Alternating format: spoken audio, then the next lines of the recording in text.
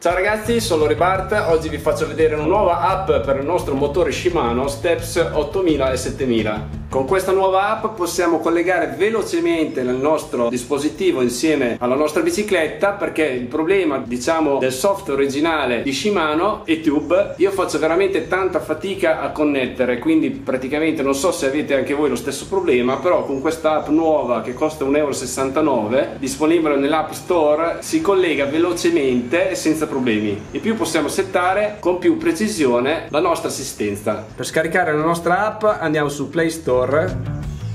Cerchiamo YouTube e il software da scaricare si chiama Steps Unlocker questo qui col lucchetto.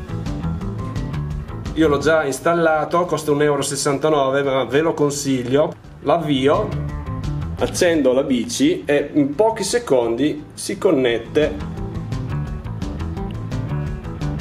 al nostro dispositivo ecco qua connesso quindi diciamo che ho scelto questa app perché si connette senza problemi e veloce rispetto all'app originale di Shimano. Nella prima schermata dà tutti i valori impostati sulla nostra bicicletta ad esempio il firmware lo stato della batteria eccetera. Poi sotto abbiamo la possibilità di settare la nostra trasmissione se magari facciamo degli upgrade sulla nostra bicicletta oppure possiamo andare a settare finalmente anche i valori di assistenza Eco, Trail e Boost.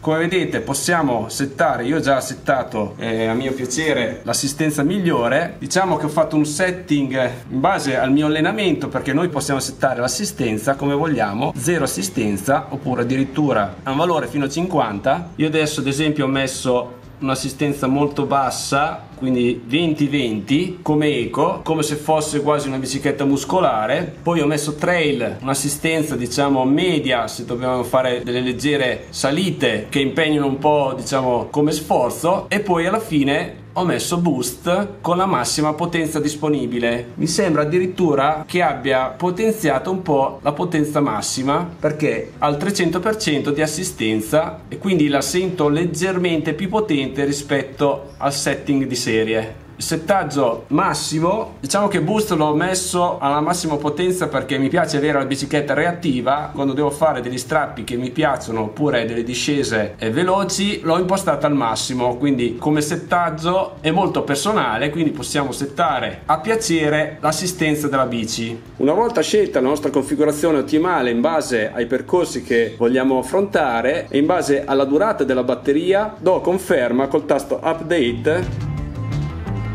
ed ecco fatto il sistema è aggiornato. Ora esco disconnetti e voilà la bici è pronta per essere utilizzata quindi questa app la consiglio a chi ha timore un po' della durata della propria batteria perché qui possiamo personalizzare perfettamente anche il settaggio eco. In base al nostro allenamento possiamo settare perfettamente l'assistenza sulla nostra bike. Bene spero di esservi stato d'aiuto anche in questo video. Mi raccomando iscrivetevi al mio canale e ci vediamo al prossimo tutorial. Ciao a tutti